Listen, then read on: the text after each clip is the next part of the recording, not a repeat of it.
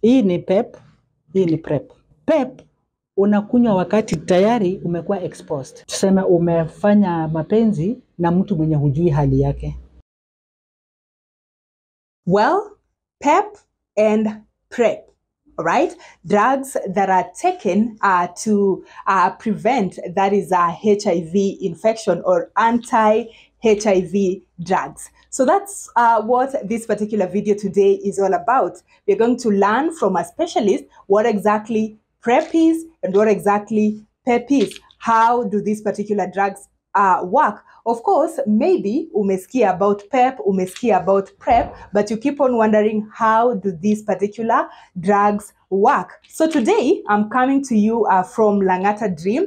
It is um, faith-based uh, organization that of course is lo- uh, located in Langata and they offer a variety of uh, health services including PrEP and uh, and PEP services or rather uh, HIV services and they do that uh, free of charge all right so let us learn together from Grace Makani as I mentioned in terms of what PrEP is and what PEP is Is Hizi dawa nimepepa. Hii ni PEP, hii ni PrEP. PEP unakunywa wakati tayari umekuwa exposed. Tuseme umefanya mapenzi na mtu mwenye hujui hali yake. Hata kama umejua hali yake na si mpenzi wako, utaenda kwa facility upimwe. Ukishapimwa confirm you are HIV negative, utakunywa PEP for 28 days. After 28 days, unaenda to the same facility or any other facility if you have traveled, you get tested.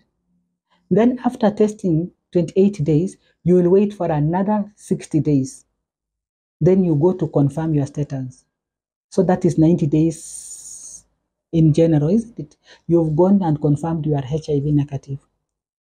If you know that you are somebody, maybe you've taken PEP like three times in a year, then you have to enroll for PrEP.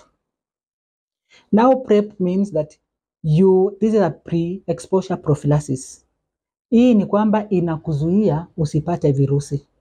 PrEP inajukuliwa seven days before, before you go and expose yourself.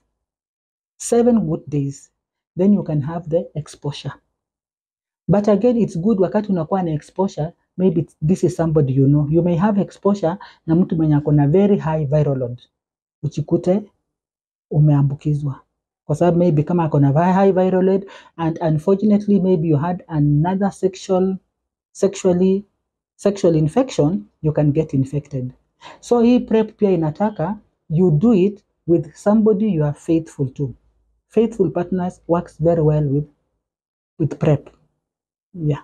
So prep can be continued can be stopped depending on how frequent you have that exposure with that person who's hiv positive if you stay away from your partner, then you will not take PrEP.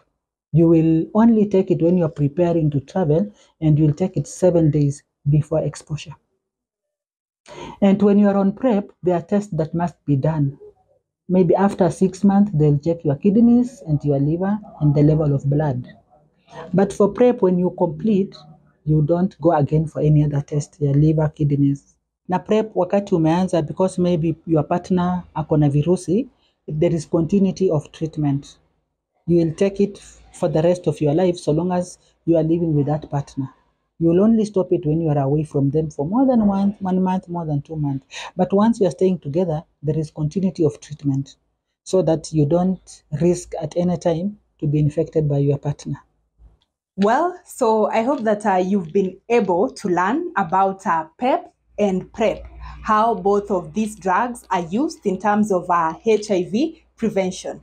So once again, that uh, was uh, Grace Makani from uh, Langata Dream or an adherence counselor at uh, Langata Dream.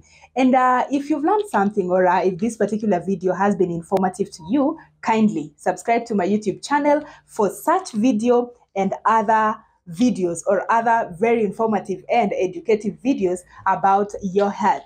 My name is Aidah Munzatsi. Thank you so much for watching this particular video and your health matters.